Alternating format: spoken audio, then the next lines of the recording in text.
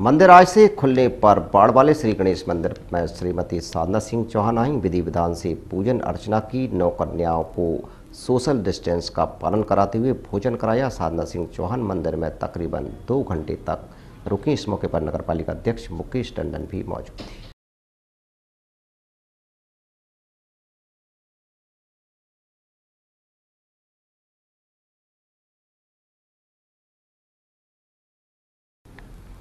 यादव महासभा के जिलाध्यक्ष रजनीश यादव के नेतृत्व में समाज ने मुरारी बापू द्वारा श्री कृष्ण के खिलाफ अशोभनीय टिप्पणी करने पर निंदा की और एक ज्ञापन सौंपा।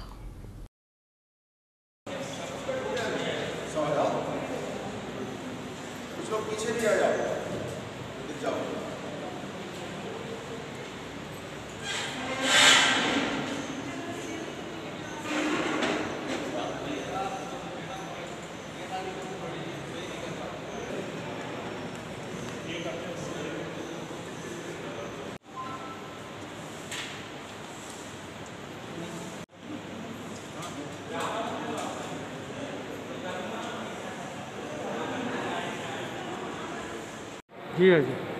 किस संदर्भ में ज्ञापन सौंपा? है हम लोगों ने मुरारी लाल जो एक कथावाचक है, जो गुजरात प्रदेश में रहते हैं, उन्होंने अपने मन से कुछ अनर्गल बातें भगवान श्री कृष्ण भगवान बलराम जी और समाज के हमारे बंधुओं के बारे में बहुत ही अपमानजनक बात कही, जिससे पूरे भारत नहीं, पूरी दुनिया में लोग इससे दुखी हैं, अपने आप को अपमानित महसूस कर रहे हैं।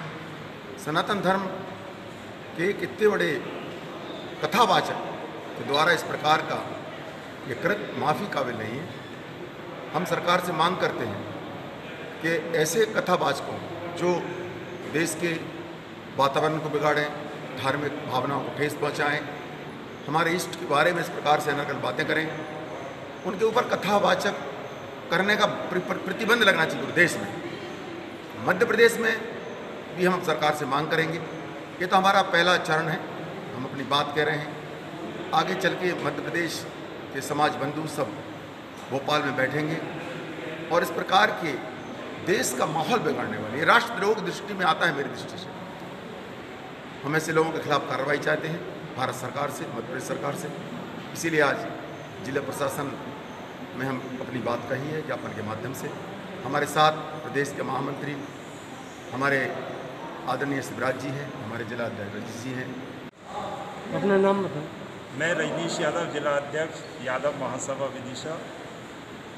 आज जैसा कि मीडिया में और इलेक्ट्रॉनिक माध्यम से जैसा पता चल रहा है मुरारी बापू द्वारा ये जो दुर्वचन बोले गए हैं, जिनको कि हम सार्वजनिक नहीं बोल सकते।